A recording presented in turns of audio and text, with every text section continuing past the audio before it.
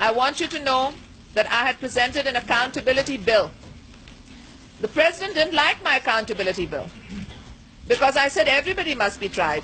The president, the bureaucrats, the judges, the businessmen, private citizens.